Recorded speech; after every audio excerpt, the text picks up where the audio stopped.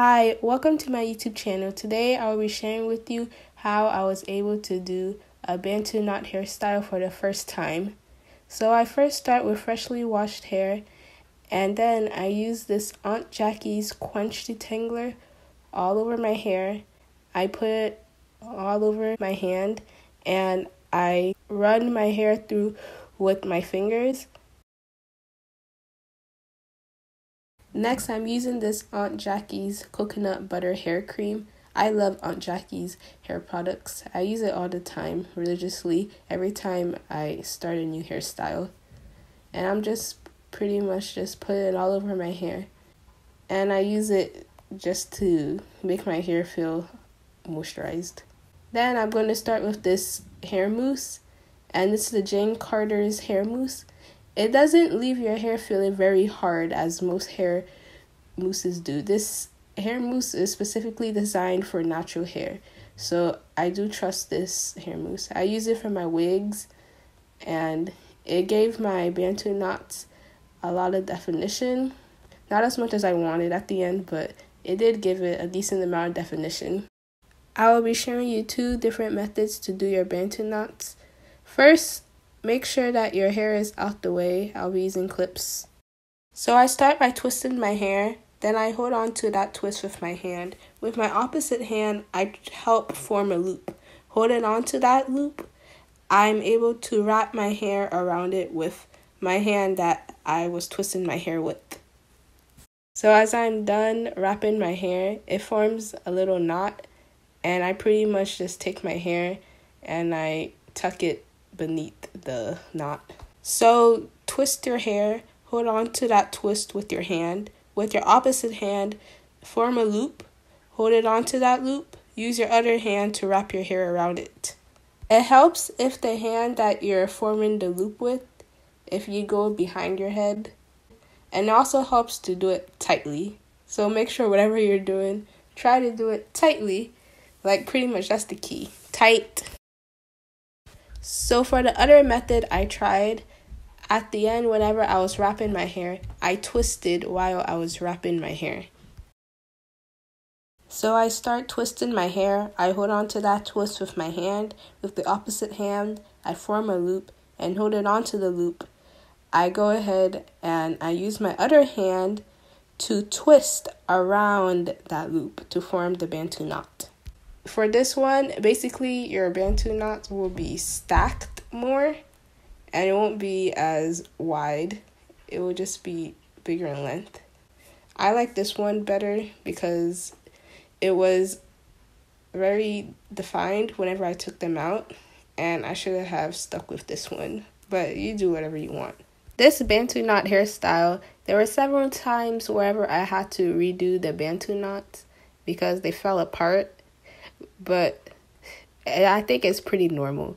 And also, it was kind of hard because I couldn't figure out which method I should have used, but I figured it out at the end. For the back, there's no way I'm doing the first method. Like, it would have been hard if I just used my other hand to just wrap it around. You try, it's hard. So I just went ahead and I did the second method. So, yeah, basically, I twisted my hair I held onto that twist with my hand, and with the opposite hand, I formed a loop and holding onto that loop, I wrapped my hair around it, twisting.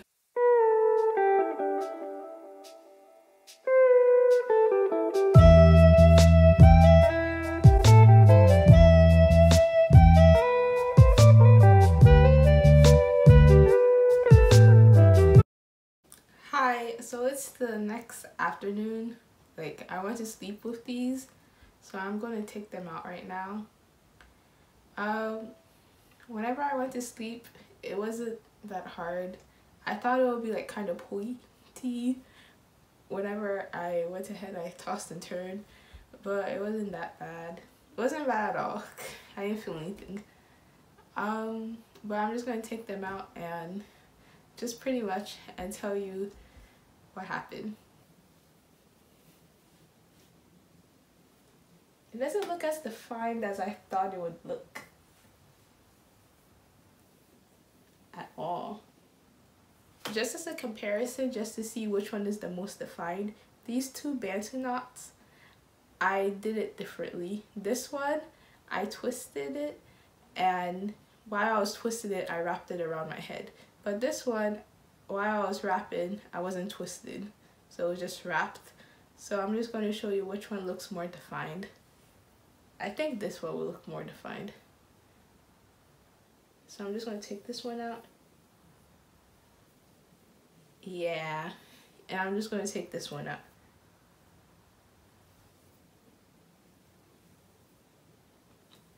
The shrinkage, I thought it would help with shrinkage a little bit, but honestly, it doesn't seem like it really helped with my shrinkage. I thought it would stretch it a little bit more, but surprisingly no. This one came out way more defined. If you see, it came out way more defined. But this one is like I don't know. You can see my coarseness in my hair more for this one. So I'm just going to take the rest out. This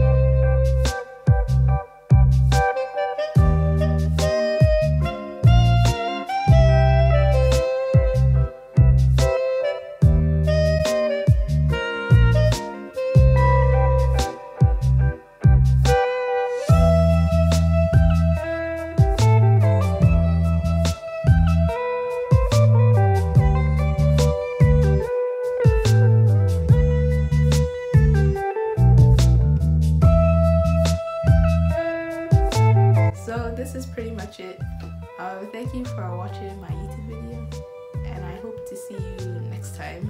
Um, I'm going to be uploading more videos during this month as I don't really have school. So stick around if you want, subscribe if you want. Thank you and have a nice day. Goodbye.